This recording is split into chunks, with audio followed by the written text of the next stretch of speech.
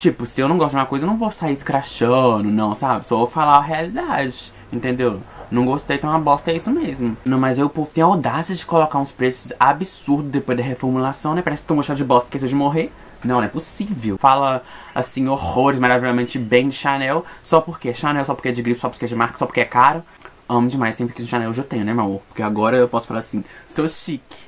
Mas pobre, mas pelo menos sou chique. Não, eu tava na rua, gente, essa semana experimentei uma blusa linda, icônica. Entrei na loja, uma lojinha chique, sabe? Uma boutique, né? Maravilhosa. Entrei lá, né? Como que nem quisesse nada com a vida. Vi uma blusa, falei assim, moça, eu gostei tanto dessa blusa, quanto que ela? 200 reais. Falei assim, ah, tá. Ela quer experimentar? Falei assim, claro, né? Não, não tinha nem dinheiro na carteira. Mas falei assim, vou experimentar. Fui lá, tirei várias fotos dentro do, dentro, dentro do negócio lá, né? Porque a gente que é pobre leva, leva a câmera pra tirar foto pra ver se fica bom, né? Eu falei assim, nossa, gostei, achei um luxo, tá? Aí ela falou assim, posso fazer um descontinho pra você, à vista no cartão. Eu falei assim, tá claro, de quanto? 150. Vai ser linda demais, na internet consigo por 70. Aí nisso eu falei assim, tá bom, eu vou ali e já volto. Aí ela, quer que eu guarde pra você? Não, porque vai que eu não volto, né? Porque eu não sabia se era na volta de Cristo que eu ia estar ali de novo. A mulher me olhou assim, de cima abaixo, sabe? Empinou o nariz e falei assim, tá bom. Thunder.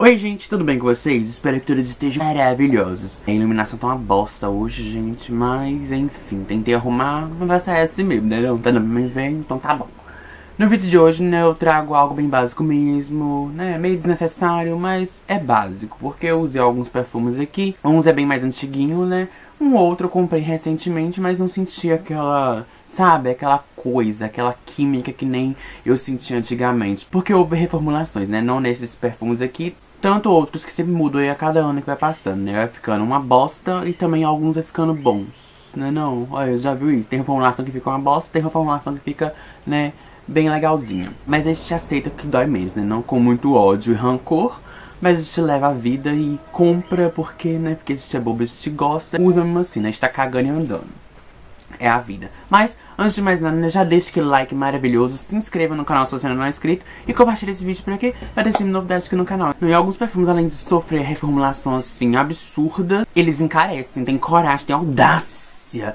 de aumentar o valor. Né? Não, por que, que não aumenta a qualidade? Não, vai lá, diminui a qualidade e aumenta o valor. Por quê? Porque a gente é trouxa. E a gente continua comprando. Ah, porque é bom. Primeiro eu vou começar, né, com um perfume que não é meu. Um amigo da minha tia, tal, que trabalha com ela, mandou o perfume pra eu poder ver, porque ele tinha comprado num site que ele não sabia se o perfume era original ou falsificado. Mas só que o perfume veio lacrado, as imagens já tá tudo na tela. O perfume veio lacrado, bonitinho, veio com selo, perfeitinho. Tava assim, ó, maravilhoso. Aí ele vai testar na pele, não teve aquela fixação maravilhosa que muitos falaram que tiveram, não teve aquele desempenho, sabe? Não teve aquela potência, porque pelos perfumes que ele comprou era pra ser, sabe, o auge do babado. E quando eu cheguei lá, né, sim, é isso que vocês estão vendo na tela, que é o One Million e o outro é o Mercedes-Benz né? E eu verifiquei o código dele, né? O Batcode, tal, no site, tava perfeitinho. O One Million, né? Tava mais recente, sete meses aí. E uma reformulação, assim, absurda, porque eu não achei aquela potência toda. Tá, tava com um cheiro bem mais bem mais suave, entendeu? Não teve aquela presença, aquele embaque. Ficou cheiroso no começo e tal, só que perdeu muito de um que eu já tinha testado há muito tempo atrás, porque, nossa, era incrível, era uma bomba, tá? E, eu, com certeza houve reformulação aí, né? Comenta aqui embaixo.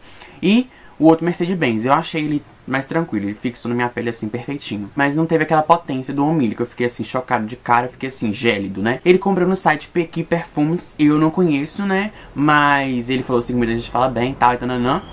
E quando eu entrei no site, tinha muitos perfumes lá com preços assim, ó, icônicos e acessíveis. Eu até queria pegar, né? Só que eu fiquei com medo. Alguém conhece o site? Alguém já comprou? E são perfumes babadeiros mesmo? Deixe aqui embaixo no comentário, porque chegou assim perfeitinho e parecia ser originais sim, tá? Ok? Não tô criticando, falando mal, tá? Tô mais ou menos. Mas é, não tô falando mal do site não, né? Até porque eu não comprei, não conheço. Ele comprou e arrependeu amargamente, né? Não? Aí por isso que eu fiquei com medo de pegar alguns perfumes que eu queria muito lá, que tava com preço super acessível. Tinha Prada lá de 300 e poucos, gente. Eu fiquei assim chocado, eu queria muito. Mas é, não comprei, ainda, ainda pretendo arriscar. Mas eu fiquei com um certo receio, tá bom? De pegar no site, até porque eu não conheço. Mas tem muitas muitas muitas variedades lá. Os perfumes vieram perfeitinhos, sim, tá ok? Talvez pode ser a pele dele. Ou então essa palhaça dessas reformulações, tá gente? Que tá uma bosta. Por acaso vocês sentiram humilha recentemente? Com comenta aqui embaixo, tá ok? Então bora pra outros aí. Na vibe dos perfumes importados, tinha comprado esse Minotauro aqui da Paloma Picasso, que é babadeiro. O cheiro é icônico, breve eu falo pra vocês. Só que é um perfume caro hoje em dia que não vale o preço absurdo cobrado. Porque antes falaram assim que ele era uma bomba, hoje em dia não tá lá essas coisas não, tá, meu amor? Mas o cheirinho é divino, vou trazer uma resenha pra vocês icônica, que eu tô louco pra fazer. E já tem um tempão que ele tá aqui, que eu não fiz resenha ainda, tá ok? Praticamente ganhei, gente. Comprei um e ganhei o outro, praticamente. Breve eu trago resenha, tá ok? Mas ó que houve reformulação e não tá lá essas coisas, não. Tá uma palhaçada. Tá que nem a linha G do Boticário, né? Que muda as embalagens, né? Mas tá uma bosta. Não tá que nem antigamente, não. Eu falo mesmo porque eu não sou obrigado, tá bom? Mas o cheirinho é icônico. Tem gente que gosta, tem gente que compra, né? Então é isso, é a vida. Mas eu amava aqueles regiões antigamente, tá bom, gente? Tipo, se eu não gosto de uma coisa, eu não vou sair escrachando, não, sabe? Só vou falar a realidade, entendeu? Não gostei, então uma bosta, é isso mesmo. Entendeu? Quem não gostou, só lamento. Tô cagando e andando. Porque todo mundo tem um livre-arbítrio. É isso mesmo. Bom, todo mundo pode expressar o que bem entender, entendeu? Da forma que bem quiser. Mas sem precisar também ficar colocando pra baixo, porque tem outras pessoas que gostam, né? Mas pra mim não deu e é isso. O próximo, né, vamos falar de quem? De Billion Woman Love, meu amor. Porque Dona Paris Elise faz perfumes babadeiros. Só que essa reformulação aqui, ai, Jesus. Ó, esse daqui é o novo, né? Que, ó. Vocês viram no vídeo de comprinha, né? Ao tanto que eu já usei. O cheiro é divino. Aí eu fui guardei o meu antigo. Guardei o meu antigo, gente. Ai, desculpa se estiver meio rápido, porque a câmera tá se carregando. Sempre assim, né? Olha meu antigo, que lindo, oxidado, maravilhoso. Isso aqui é uma bomba nuclear. Gruda na minha alma. Sério, na minha próxima reencarnação, se eu usar esse perfume, eu com certeza vou estar com ele lá na minha próxima reencarnação. Tá bom? Aí eu fui guardei ele, porque eu não quero usar mesmo, jamais. Lógico que eu vou usar em alguma ocasião, né? Mas só que esse aqui é bem concentrado, não, não vou achar outro. Por quê? Porque eu tenho esse daqui, eu guardei por muito e muito tempo. E eu usava esse daqui, gente, recebia muitos elogios. A pessoa me abraçava, grudava o cheiro nela, ia pra casa e ainda falava que tava cheirando meu perfume. Sério. Aí, comprei, né? Uma palhaçada. Subiu o valor, né? Eu fiquei assim, de cara. Nem acreditei. Quando eu vi, minha alma saiu do corpo. Entendeu? Depois voltou pra realidade. Porque tá muito caro tá ok, gente? Tá muito caro, 70 e poucos reais aqui na minha cidade. Eu acho um absurdo pela qualidade. Tipo, ainda tem qualidade, maravilhoso, fixa bem na minha pele, projeto gostoso. Só que aquela intensidade, aquele, aquela presença, sabe? Aquele encorpamento gostoso, aquela. Ah, aquela coisa toda que eu sentia nesse daqui, nesse daqui eu não senti. Eu achei bem mais leve, bem mais diluído. Mas em mim ele fixa super legal, tá bom? E eu já vi gente reclamando também, né? E tem por que reclamar sim porque tá uma palhaçada que ninguém é obrigado a ficar pagando caro pra, pra diminuir a qualidade do perfume, gente. Por que, que não deixou do jeito que tava? Ai, cacete, viu? Mas o cheirinho é divino, vou continuar comprando sim. Tô até com medo de comprar o Gabi. Porque eu tenho o Gabi aqui também, gente. Eu parei de usar. Esse daqui pra mim é uma bombinha. Sério. Rende muitos elogios, bem aromático. Em minha pele fica bem aromático. Ele tem a tocadinha assim gostoso, né não? Tem uma saidinha assim de poliflor. Quem conhece sabe do que eu tô falando, né não? Quem é dono de casa aí. E ele é muito gostoso, gente. Ele deixa uma bruma enfumaçada em minha volta, que sempre que a pessoa me abraçava, ela me elogiava. O cheiro grudava nele. Esse Gabi aqui é icônico. Ele é bem mais antiguinho, tá? Acho que é 92, de 92, né?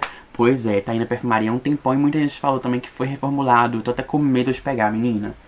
Tá? Tanto que a tampinha mudou também, né? Ai, uma palhaçada. Isso odeio reformulação quando acontece isso. Um outro da Paris Elysée que muita gente tinha falado que tinha sido reformulado, né? Eu senti também isso quando eu senti numa loja aí. Foi esse daqui, o Le Petit Fleur Burnt. Delicioso, lembro o La Vie Belle, né? Não, eu gosto muito mais desse daqui do que o La Vie, tá bom? Ó, usei bastante também pra ir pra escola. Quando eu fazia curso também, muita gente me elogiava com esse perfume. Hoje em dia não tá lá essas coisas também, pelo menos o que eu senti, né? Não sei se é o lote e tal. Mas muita gente também reclamou desse perfume.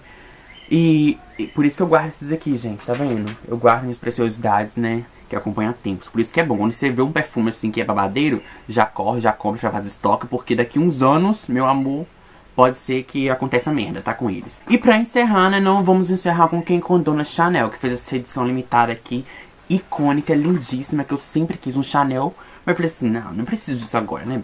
Porque um Chanel é um Chanel, é só simplesmente Chanel. Porque todo mundo baba ou fala, assim, horrores maravilhosamente bem de Chanel. Só porque é Chanel, só porque é de grife, só porque é de marca, só porque é caro, né? Não. Mas é um perfume, gente. Maravilhoso, sim. Tem uma história, assim, icônica, com certeza. E é simples de perfeição, né, meu amor? Porque Chanel é chique. Né, não convenhamos. Olha, o meu é o vermelho. Mas... Tem gente que idolatra demais certos perfumes só por causa da marca, né? Não. Amo demais sempre que o Chanel eu já tenho, né, meu amor? Porque agora eu posso falar assim, sou chique. Mas pobre, mas pelo menos sou chique. Ai, mas enfim, gente. Esse daqui, por que que tá aqui? Porque essa aqui é edição especial, né? Não, eu não achei aquela potência toda, que nem aquele Chanel mais antigo, né? Não, porque tem, tinha muita gente falando assim que era uma bomba, que era é, algo assim, ensurdecedor, sufocante. Eu não achei nada disso, tá bom? Eu paguei um preço assim absurdo também, né? Não. Mas ele é muito gostoso. Ele tem um cheirinho mais suave, é, não tão datado quanto o Chanel mais antiguinho, né? Não. E eu queria que fosse uma bomba mesmo, né? Já que é pra fazer algo em edição limitada, uma coisa especial que seja marcante. Marcou pelo frasco, pela fragrância inesquecível que Dona Chanel tem sim, mas aquela potência, aquilo que eu queria mesmo, sabe? Eu não senti, tá? Mas sim, ele vai na vibe sim do Chanel antigo, até porque é o mesmo Chanel, só que mais diluidinho, tá bom? E eu acho uma palhaçada isso. Mas tá aqui, ó, né? Ele por cima tem coragem de colocar um valor absurdo nele. Enfim, gente, tá vendo? Foi algo bem básico mesmo. Espero mesmo que vocês tenham gostado. Quem gostou desse like maravilhoso, conte aqui qual são os perfumes reformulados que vocês têm nas suas coleções, que são uma bosta, mas mesmo assim vocês compram e usam porque vocês gostam, né? Porque vocês não obrigaram a nada nessa vida.